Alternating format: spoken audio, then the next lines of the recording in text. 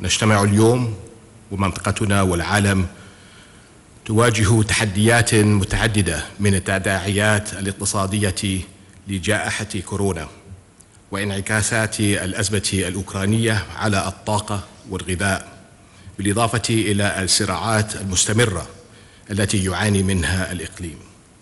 لذا لا بد لنا من النظر في فرص التعاون والعمل معا. من خلال السعي نحو التكامل الإقليمي في مجالات الأمن الغذائي والطاقة والنقل والمياه. ونحن في الأردن نحرص على ترجمة هذه الفرص إلى شراكات حقيقيه في المنطقة عن طريق البناء على علاقاتنا التاريخية والراسخة مع دول مجلس التعاون الخليجي واشقائنا في مصر والعراق لخدمة مصالح شعوبنا. وننطلق في هذه الجهود.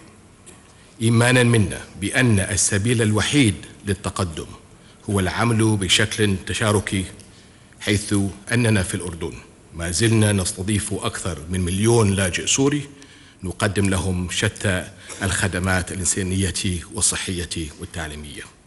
كما نواجه المخاطر الأمنية المتعددة أو المتجدده على حدودنا في مكافحة عمليات تهريب المخدرات والأسلحة التي باتت خطرا كبيرا يداهم المنطقة بأكملها.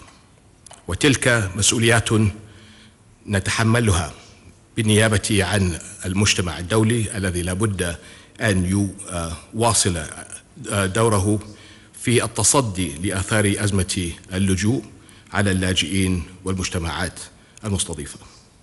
أصحاب الجلالة والفخامة والسمو ولضمان نجاح الشراكات الإقليمية التي نسعى إليها فيجب أن يشمل التعاون الاقتصادي اشقائنا في السلطة الوطنية الفلسطينية وهنا علينا إعادة التأكيد على أهمية الوصول إلى حل عادل وشامل للقضية الفلسطينية على أساس حل الدولتين.